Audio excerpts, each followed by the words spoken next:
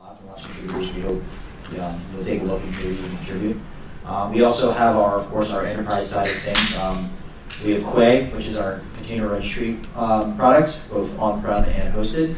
Um, we'll show some uh, details of that today, as well as uh, Tectonic, which is our on-prem um, enterprise Kubernetes system. And of course, we're hiring in all departments. Um, this includes in New York City. We are the New York-based team.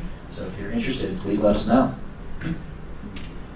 Uh, a little more background. Uh, Quentin and I are on the Quay Container Registry team. Um, Quay is, as the name implies, a container registry for Docker and ACI and soon OCI images. Um, you can push and pull your images, manage the ACLs, um, download them in a variety of formats, um, and other things such as security sync, which we'll be talking about. So, getting started. Um, the big question, why is container security a problem? I'm sure a lot of us have some good answers to this question, but let's you know, deep dive in a bit. Um, if we look at traditional deployments before containers, there was a fairly clean separation as to who was responsible for um, one half of the stack versus the other. So ops people would be traditionally responsible for the operating system itself, the kernel, your init system, maybe SSH. Um, if there was any vulnerabilities in these portions of the operating system, they would perform the upgrades. And similarly, the ops people were in general responsible for the packages installed in these operating systems as well, Python, Java, and Nginx. While developers were primarily concerned with the applications, um, although they would have absolute requirements on which packages were available on their system. Um, moving forward a bit, we started to see a little bit of a clash in this area around, well, an a developer might say, I need Python 3.3 for um, to be installed on my systems, while the ops people say, no, I need to do an upgrade because there's a security hole in this package or amongst other packages. So we started to see a little more friction um, develop in this area and not very many great solutions except for you know rolling deploys and lots and lots of testing. Containerized deployment actually uh, moved the separation concern and established new clear lines. Now, developers were responsible for the versions of the packages that they were running because the packages themselves were contained within the container images. So for example, app A may have Java installed, whatever version the developer felt they needed at the time. App B may have Python, um, while the operating system itself was still at the under the purview of the ops person. And in fact, we could see that App A may have one version of Java, say Java 7, while App C could have a completely different version of Java, say Java 8. And there's no conflict here. You can have whatever versions of whatever packages you want within your container images, and they won't conflict. And so now, as a developer, you get more control over how you move your package versions forward. However, while being great from the perspective of uh, maintainability, um, it introduced some additional problems. So first, in practice, we don't just have Java 8, just Python inside of our containers. Most of our containers are, in fact, a whole slew of packages, a whole that we're building on top of. So if we've ever built on, say, the you know, Ubuntu base image, even if you're building on, say, Alpine, you're still getting basically part of a kernel. You're getting perhaps an init system, maybe SSHD, and then you have a whole set of other packages inside of your containers. And this, in fact, leads to the reality that for most people, containers are in fact opaque, um, especially if you're going to be running multiple microservices on the same machines, and those services are maintained or managed by different developers. Um, this is, in fact, even worse if you're using just random base images to create your code. So let's say you're using the Golang on-build image from the Docker Hub. Um, fairly simple, right? You're just going to do a, a, go build, right? Seems like it should be fairly simple and have not have too much in it. Um, but you don't actually know what's in that image. I mean, you could probably do some effort and try to figure it out, but who knows what's in that image, what vulnerabilities they may have, and what may be introduced into your running stack when you push the image that you built uh, using that base image. So, you know, this is a problem in the abstract, but realistically, why is this an issue, right? I mean, Software has problems, but is it really that much of a, of a big problem overall? Uh, yeah. Um, and if we look at a, you know just an overview of the number of vulnerabilities reported over time, we can see that you know the last couple of years we've seen significant spikes, um, and we're trending again this year um, to significant overall security vulnerability counts being very high Um, of course, 2014 was pretty crazy, nearly 8,000 reported vulnerabilities, but even last year, over 6,000, we're, we're looking at a large problem. And in fact, it's gone so bad that we have the reality now of branded vulnerabilities. So this is, of course, you know, a whole new idea like, we're actually putting marketing effort now behind our vulnerabilities to get the word out to people to say, hey, look, something's wrong. So first of all, does anyone know what this vulnerability is? Ghost, Ghost yeah. CVE 2015-0235, aka Ghost. Fairly innocuous sounding, but it's a buffer overflow and get host by name that pretty much allows a remote attacker to do anything they want on your machine. That's very, very, very scary. Um, how about this one? Heartbleed. Heartbleed. That 24 hours where we were all patching our systems in a frenzy. CVE 2014-0160. Not too bad, right? Just you know, memory leak of keys in OpenSSL. So now we're all rotating everything. The reality is that as of today, um, there are over 76,000 reported vulnerabilities in the NVD database.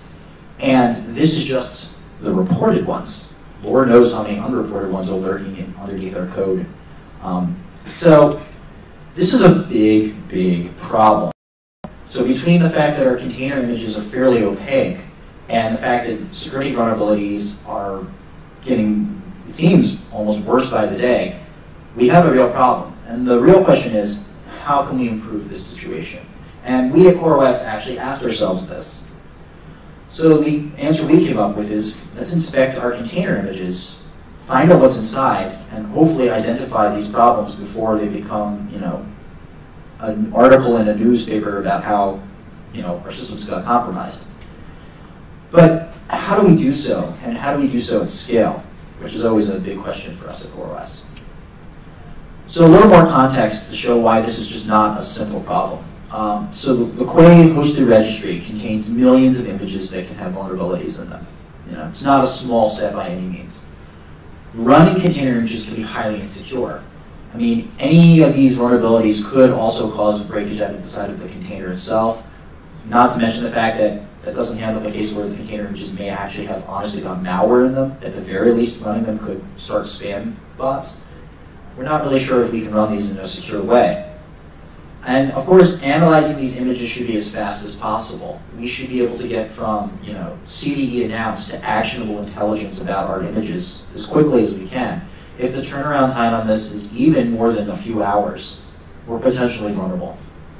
And so we should try to minimize this whenever possible. And of course, finally, and this is uh, something we feel very strongly about at CoreOS, we feel open source of this kind of technology is key one of CoreOS's uh, goals is to help secure the internet. And so we feel very strongly that any security-related technology that we can make available should be available to the world and publicly audited, therefore allowing us all to help increase the security, not even necessarily if you're using CoreOS's paid products.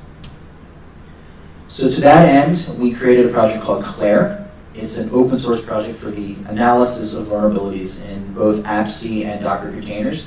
Um, as OCI becomes more standardized as well, we'll add support for that as well. Um, it's available today on github.com slash coreos slash Clair um, for analyzing container images for vulnerabilities. It makes use of static analysis for fast, reproducible results. Um, we're going to go a little more into why we feel this is very important, but at the top level, it basically allows us to go over sets of millions of images when new it is available very quickly. And Another key aspect is that it's extensible to allow for easy addition of new things such as new analyzers, reporters, image formats. This means that every time, or anytime rather, say we want to support a new distro, it's pretty easy to add a new um, uh, reporter or analyzer to do so. So enough about talking about it, let's actually see that. And uh, to do a cool demo and talk more about the technical underpinnings, I'm going to hand over to my coworker, Quentin. Quentin? Hi. Uh, Cool. So before any, going any further, I would like to show you a demo. Um,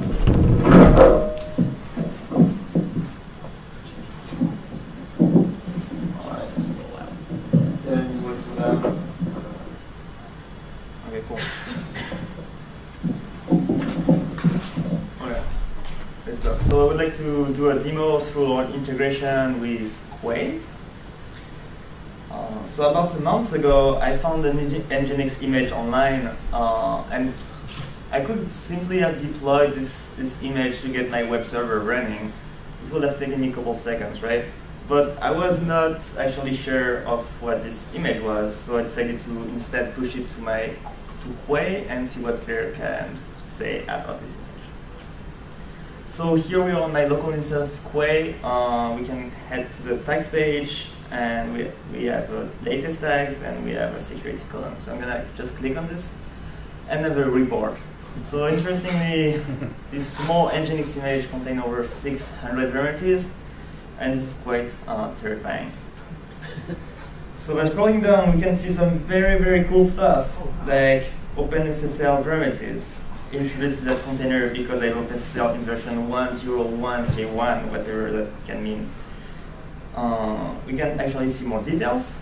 So here we can learn that anybody can exploit this vulnerability uh, over the network without authentication. It's very easy to exploit, and that might impact my confidentiality and integrity completely.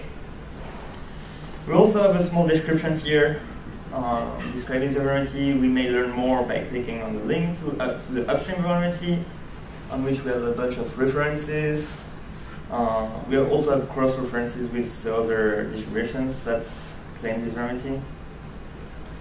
Uh, and what is, interesting here, we can see that this uh, can be fixed by upgrading OpenSSL to that version, which is not very far away. We also learned that this, it has been introduced in my image through this command, which doesn't sound like so terrifying at the first glance, but anyways. And actually, if we look at the top of the page, we can see that over 400 of, the of these varieties can be patched. So that means that this image is probably quite old. Um, there is something way more interesting about this image. If we keep scrolling, I don't know if I will find it immediately, but okay, I can filter it. I know what I'm looking for. All right, what you see here, we have a variety introduced by MySQL in that image. Why the hell do I have MySQL in that Nginx image? okay, so let's take a moment. Alright, so I wanted to have a look uh, at everything that can be included in that image.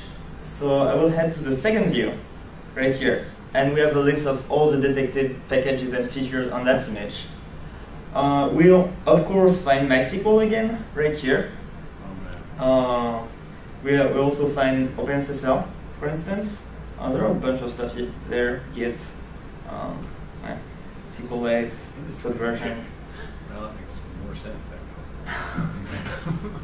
So what's more interesting about this page is that we can actually see the impact that upgrading all our features and packages to the latest version may have.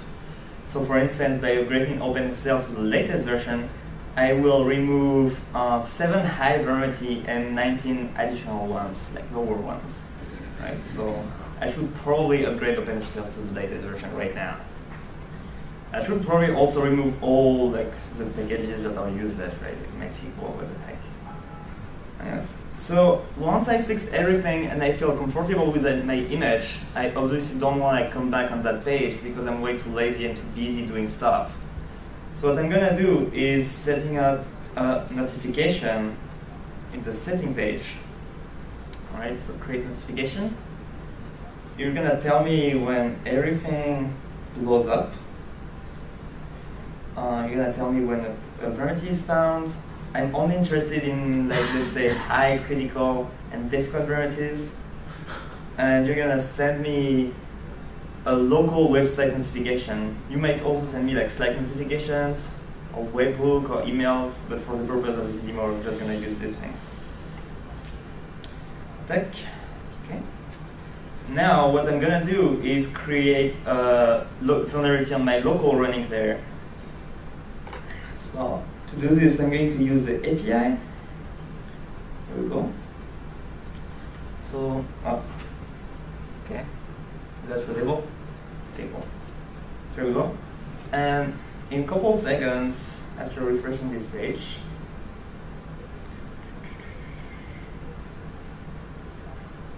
okay, I have a notification right here telling me that there is a new critical parameter in my image. So that happens each time Clair updates itself. That's pretty cool. If we go back to the text page, we can see that there is a new critical parameter right here. And we'll find it in the report. Here. Spooky unicorn. Alright. So again, this is only our integration of Clair on Quay, right? So you can do the same thing and basically everything using the Clair API. So actually, let's get this link. I'm gonna show you how can I get the exact same information using the API. So I'm just gonna use curl. Um,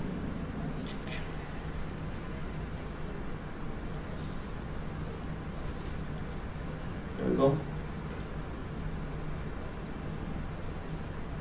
Probably have to filter it. Um,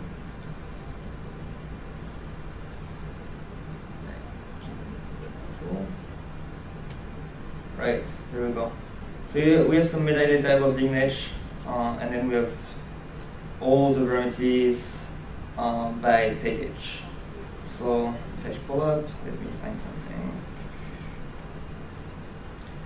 Sorry about that. Okay, here, for instance, we know that Graphite 2 has been installed in that image by this layer. And this, has, this is Debian 8, we installed it with this version. And here is the list of all its varieties right? Uh, we have the description, a link, uh, we have some metadata about the vectors, uh, the severity, and then you have the fixed version right here. So if I upgrade my package, this is currently in version 124 to 136, then I'm going to fix this particular vulnerability. Any questions so far? Okay. Cool. So how did we exactly did that? Right, so when you store Clair, and then periodically Clair is gonna pull varieties from external databases. Uh, tries to use first-party databases as much as possible, such as the Debian trackers, Ubuntu trackers, and Red Hat uh, advisories, for instance. Uh, this is because we believe that they are closer to the maintainers, and these guys have particular and specific knowledge about implementation details, all the backports, etc. For instance, actually two weeks ago, I found a Java vulnerability.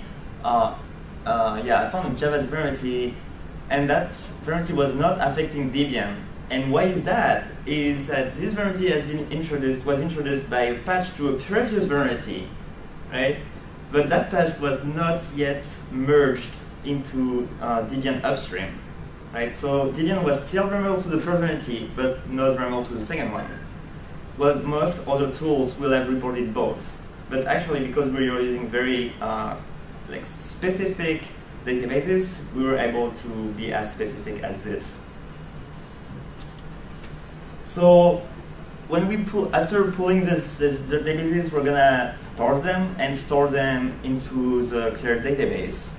Uh, in that case, we are using Postgres in a very early prototype, we were actually using a graph database.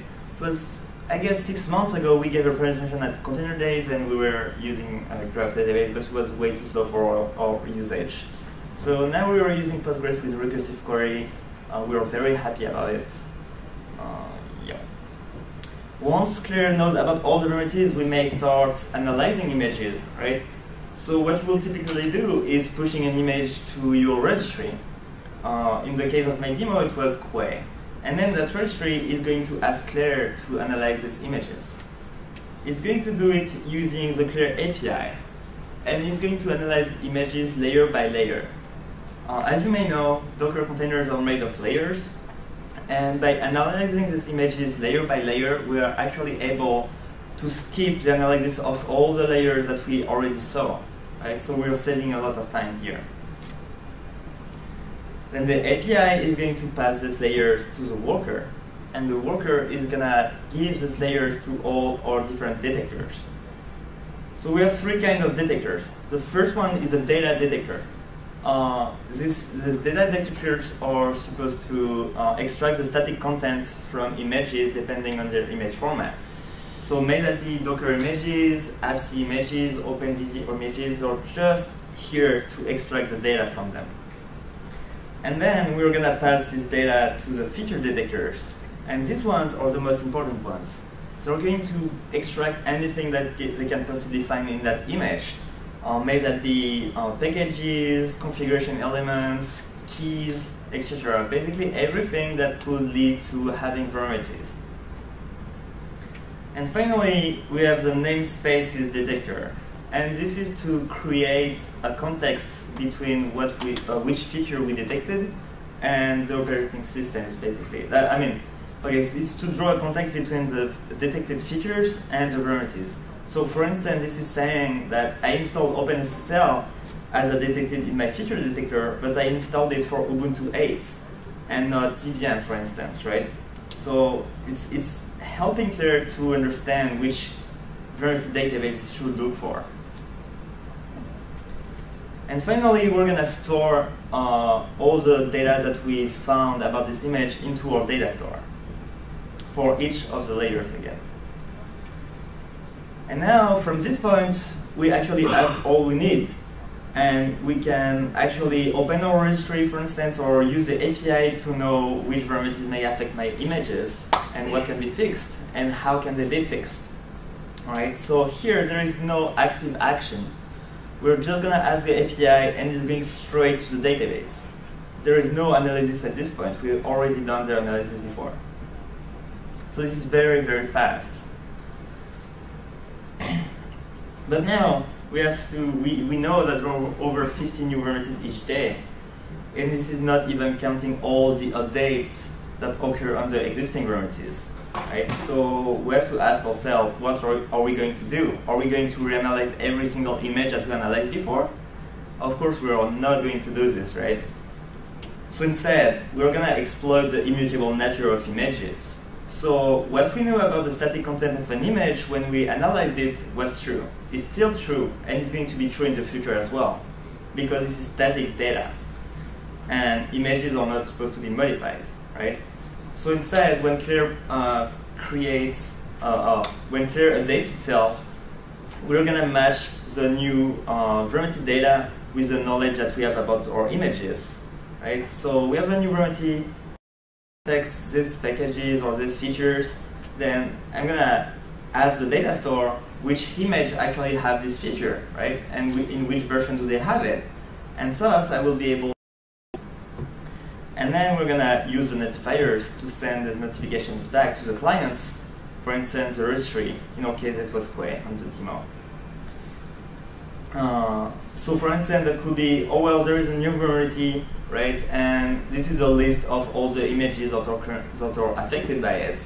Or there was a vulnerability, it has been updated, we know that it's now fixed in this version.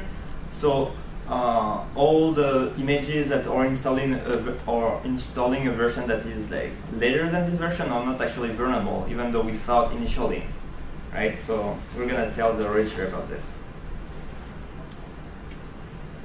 So this is yeah an example of a notification. Um, we have up here the old vulnerability.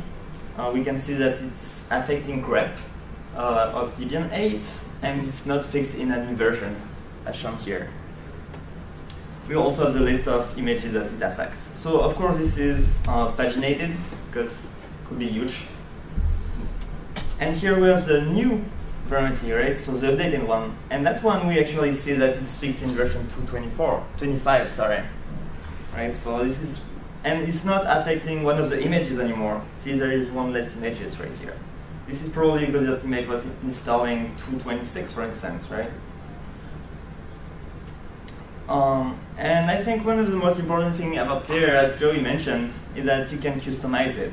You can extend anything at any time without our uh, intervention, right? You so this, for instance, the data store, you can implement your own database database backend. Uh, if you wanna install have Bolt, for instance, or I don't know, MySQL, Galera. It doesn't really matter. You can you can extend it. Uh, you can extend the vulnerability updaters if your company have some knowledge about internal vulnerabilities, for instance. You can just add yours basically.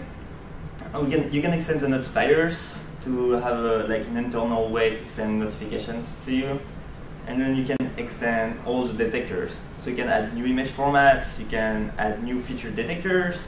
Uh, if you have to detect your again your like internal applications or self-compiled uh, software, and the namespace detectors. So as you can see, you can basically extend anything here. Right? It's except the API. Like, mm. um, okay, so here is a list of interfaces that you may want to implement to add new components. So there, we have fetch update, for instance, and simply returning a list of uh, vulnerabilities to Clair. We also have the notifier, which is even simpler. It just takes a notification and tries to send it to the other party. Uh, and then we have all the detectors, data detector, uh, feature detector, namespace detector. They all have the same method name, detect. Uh, they return different stuff, obviously. And finally, we have this huge one, which is the interface to implement your own data store. So what's next? We'd like to extend our capabilities. We'd like to, to add Alpine Linux support, for instance. They currently do not provide a, a machine-readable vulnerability database. It's just quite terrible. Oh. If you want, want to see that happen, we have a yeah. Google link. Yeah. Go there and uh, add plus one to the issue. Hopefully that'll convince them to move forward more rapidly. We'd like to implement NPM. Uh, this is actually currently done by Huawei. They are doing an incredible job around this. We'd like to add Python, WASP. Uh, Clair has been designed to be used by developers and registries, so you have to use it through the API. But as we saw, like a lot of the community when I use it through the command line. So we'd like to add a new command line tool. Uh, there is currently a contribution command line tool which isn't great. Uh, it's not the best thing out there. It's, it's usable, so you can definitely analyze your local images using this. Uh, there is uh, someone uh, in Belgium actually having a great command line tool. We're looking forward to merge it into the stream. And basically anything you'd like to see, because again, it's open source and you can extend it. That's all we have for today, so thank you so much.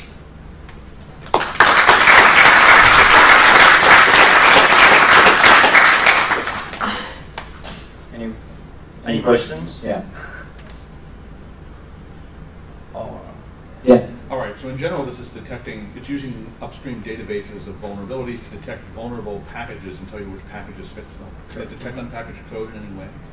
Currently, no. So the the current idea is it's all based on the metadata found in, in, in the images. Um, Mhm. uh, you could, as, as we alluded to earlier, write a custom detector. So if you have um, say your own internal manifest of what you've added to the image. You could write a, feature detector, add it in, and then you can either match it to the existing vulnerability databases or your own if you'd like.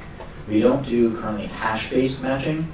Um, we found that building that database is non-trivial in the least, and for an open source project, that's not easy to do. Um, there is discussion on the open source project being one of the issues about adding some additional level of hash-based matching to complement the package level matching as well philosophical problem. Yes. Um, and of course, even hash-based matching will not stop uh, malicious hack, uh, vulnerability injection because you can always just change your code in some way and the hash will be wrong. Yeah. Cool. Any other questions? It looks like you work with Docker and uh, Quay registries, is that correct? So the open source project itself has just a well-defined REST API, so it can kind of work with anything. There are multiple registries that have done integration already. Uh, Quay is one of them because, of course, we're the Quay team. Um, Huawei also has an open source registry called, I believe, Dockyard, and they've done the integration work as well. Um, there are people who are doing integration work with the Docker open source registry. Um, I don't know off the top of my head where that code lies, but it would be fairly trivial to do, I imagine, because the API is well